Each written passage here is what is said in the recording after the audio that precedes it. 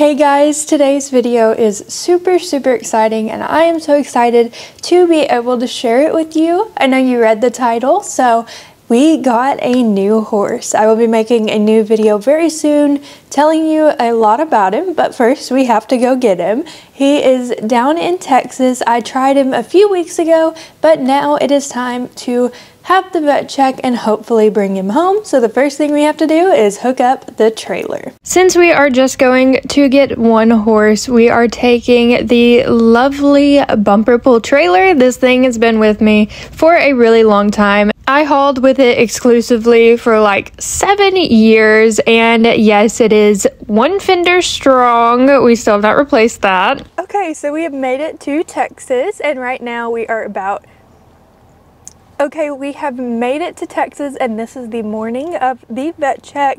So fingers crossed that he passes the pre-purchase exam and we get to take him home. But before we head to the vet check, we are going to run into a tack store and buy some things that we know we're going to need for him. And if for some reason he doesn't pass the vet check, then we will just keep him and begin our search all over again. So we are about to run into Teskey's, which is one of the best tack shops ever in Weatherford.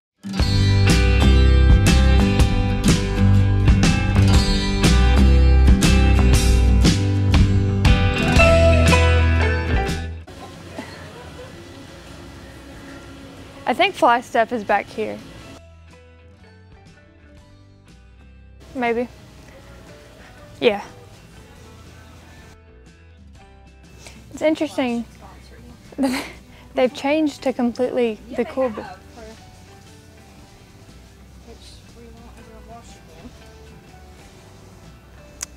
I'm assuming he's a medium. Fly boots because the flies are terrible in Arkansas. and we need electrolytes. Okay. Are you going to look for a fly sheet? Yeah, I'll stay over here and do that. You need a really light one. That one we got for Ace made him really sweaty. So Lightweight. Yeah, do the, definitely lightweight. 70 to 72? Or 74 to 76. Hmm. How big is Cat? Chester's 80. There's 77 to 79. Yeah, Chester's 80. I would go with the one in the middle, the 74. Four, if I can find one. I would. they may not have it. We might have to order one. This one got some fluffiness.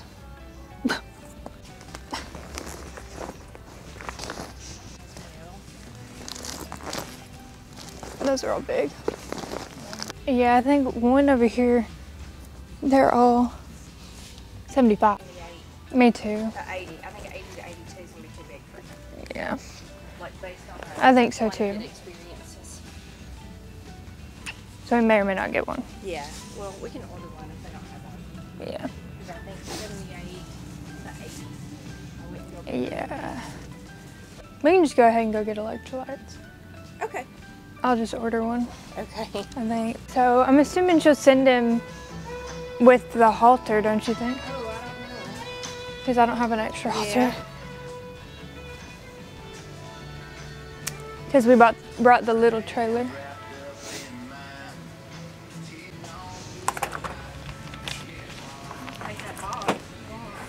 Yeah.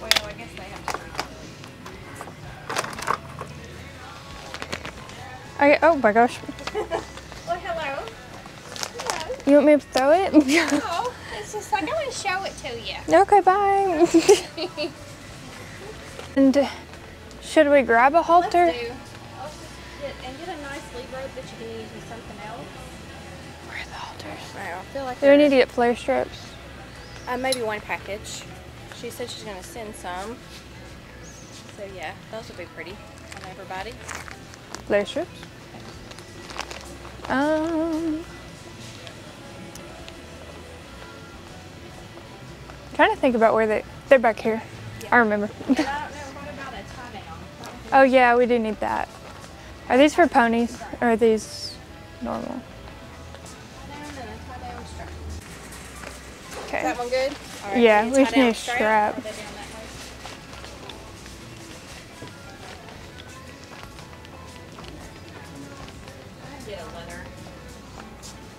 Yeah. I feel like this one's good. Now I need a halter.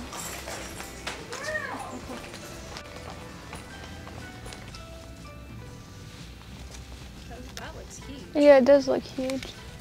This looks like it's for Chester. Large. Yeah, it's he's probably in like a I would normal say medium. a normal horse. What's his color scheme gonna be? So far we're going with with pink. That's a small. Are these mediums? Average. That'll work. And now a lead rope. Um, There's right here behind you, like, all the- There's rope ones and then there's. there's a pink one over there. We'll go get the pink one. I dropped the flare strips. Take a move. Maybe cat needs a muzzle.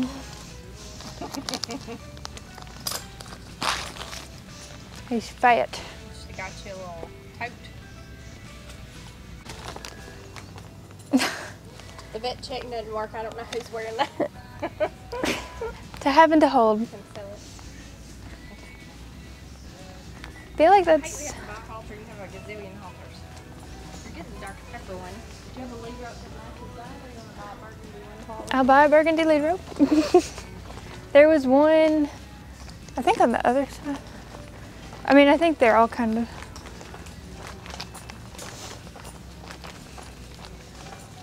This one, this feels like Dr. Pepper to me. Haul, haul moment. Alexis, come to shipping, please. Alexis, to shipping, please. My arms are tired. I'm getting there. for like the road. Okay, well, you're gonna have to. What color? Uh, get this one. Just whatever. Now that our tack shopping is done, it is time for the vet check. So, you want to do a pre purchase exam on a horse you are buying. This will really help you down the road, let you know everything that the horse needs, any sort of maintenance. And sadly, in the horse industry, people can be pretty dishonest, especially if you are a new horse owner. So, you want to make sure there's nothing um, wrong with the horse, no sort of pain that has been blocked in order to sell the horse. That is definitely not the case with this horse, but this is why you get a pre purchase exam. We were mostly doing it on this horse to make sure we knew all of the maintenance he was going to need down the road because he is going to be a very high level performance horse. So, you do a full lameness exam and typically some x rays. Due to his age, we knew he would have some arthritic changes. He is 12, so we just wanted to make sure there was nothing career ending down the road, like any sort of degenerative problem or navicular issue. And he was all good, so I will let you finish the vet check and then we will take him home.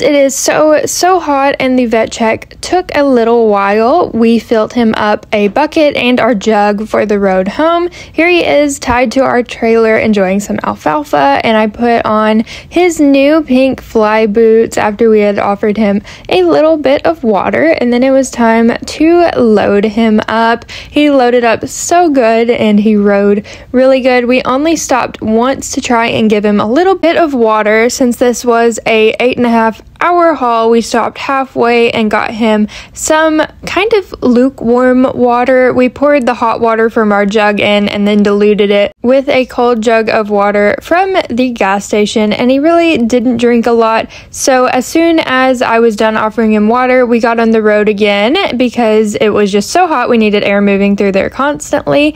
And here he is when we got home. I put him in the round pen so he could kind of smell and stretch out, and he had some water in there. And he is already very interested in the cattle and the other horses. He trotted around a little, really getting stretched out, which I loved to see. But now, while he is out here, it's time for me to get his stall ready. And Kite decided to be the most disgusting he has ever been. I was gone for one night and he did this. Anyway, Kite is still here. We only have these two stalls here, but we set him up a temporary kind of stall until the heat breaks and he can just live outside. So he is still here and very, very happy. So I'm going to let you watch me get his stall ready for him.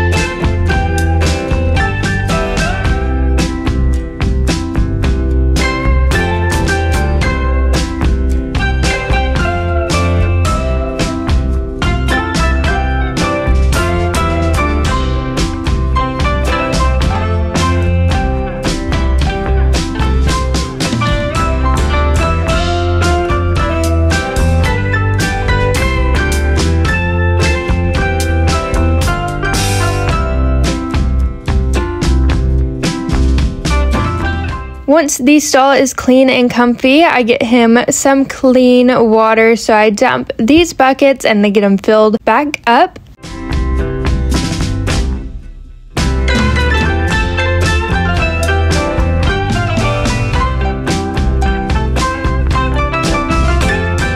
Now that his stall is ready, I go outside and get him and bring him in. I am going to spray him off a little bit because he did get sweaty in the trailer.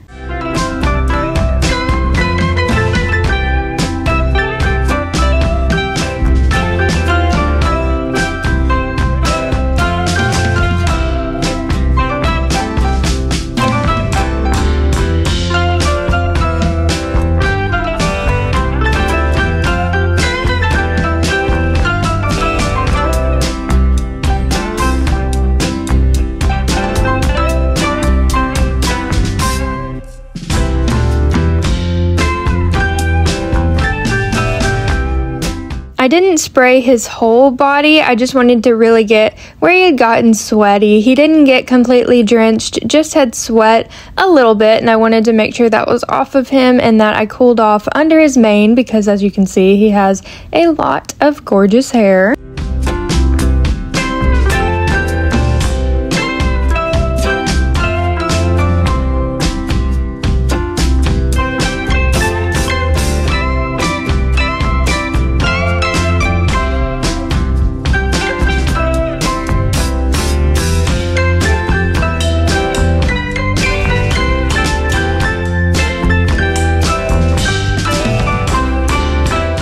Turn him loose and pet him and just kind of let him explore his new stall a little bit before I start getting his dinner ready. And I did love to see that he got a nice drink out of both buckets.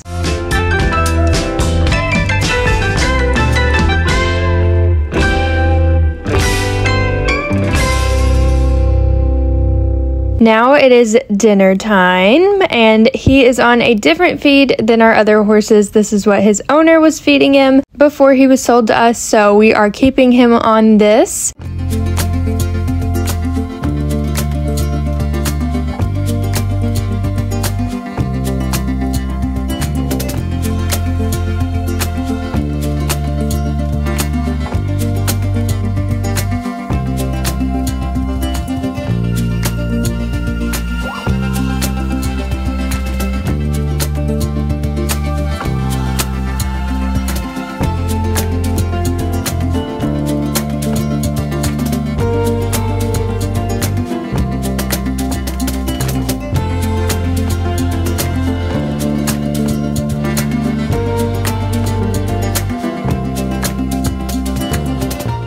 Since he really didn't drink when we stopped on our super long haul, we are going to make him a mash to make sure he stays really hydrated. So I'm just going to put some shredded alfalfa in here, some electrolytes, and then wet it down so that he eats all of the alfalfa and the water with it.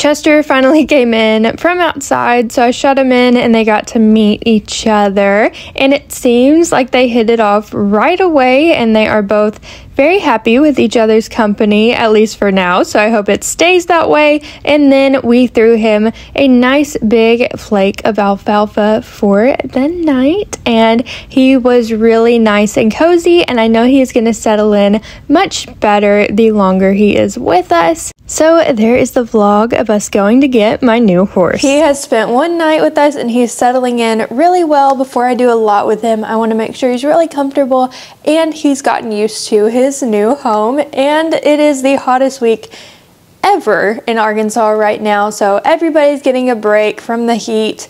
Definitely want to be very careful with that, but him and Chester are actually related and they become really, really good buddies. So I'm very excited about that. Make sure you subscribe to learn more about our new horse very, very soon.